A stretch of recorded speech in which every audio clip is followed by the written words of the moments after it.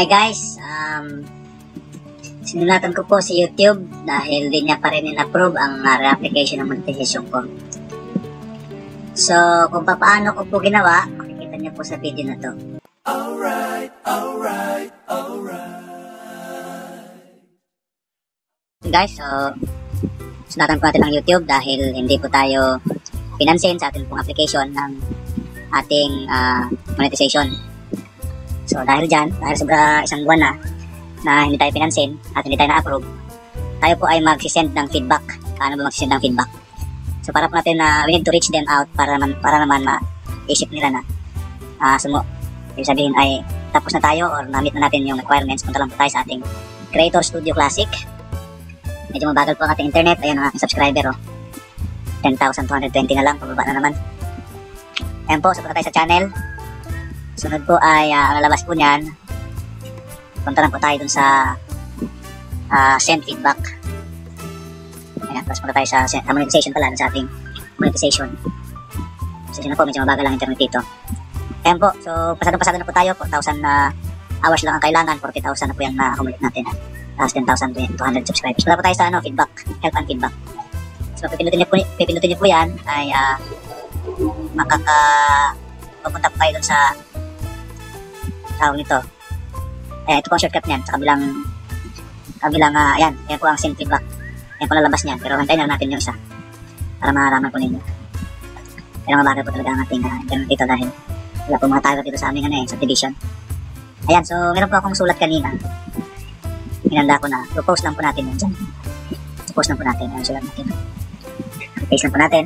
Tapos, isama po natin yung ano, yung screenshot ng proof na ng ating pong channel ay lumabas na po sa uh, requirements. Yan. So, kopyahin na po natin. So, be, uh, ano po ha, mag, ano po tayo, maging polite po tayo sa ating mga words na gamitin. Ayan, maging polite po tayo sa mga words na gamitin. Ayan na po, yun, lumabas na po yung send, uh, send feedback. Sa pinakababa po, isi-send niyo po siya. Ayan. Pero dito na po tayo mag-send para mabilis kasi mabagal sa kanila. Post natin yung ano dito. Masyado mahaba yung mga sentence ko kaya uh, lang natin to. Okay. Thank you so much for your favorable response. Tapos, i-click po natin yung ano, yung yung tawag nito. Yung maliit na ayan para po magkaroon tayo ng ayan para na yung mana. Ayan po, so ay talaga, kailangan ko ng ano, mouse. Hindi ko na ano.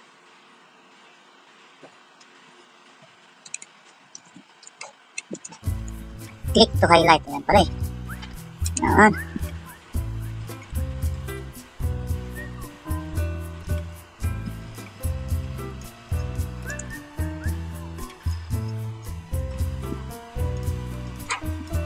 So, yan po ang ating i-highlight para uh, papadala pa sa kanila.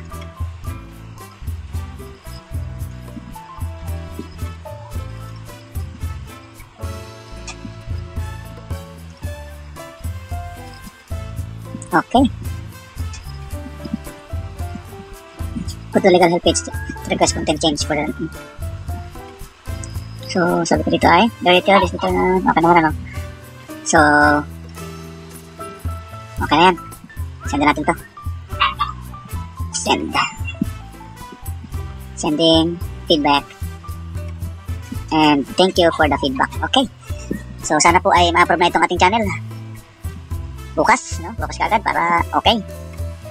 Kasi nakakainip na rin, eh, no? Sana na-upload na ang ating channel. So, see you guys. Thank you. Alright, alright.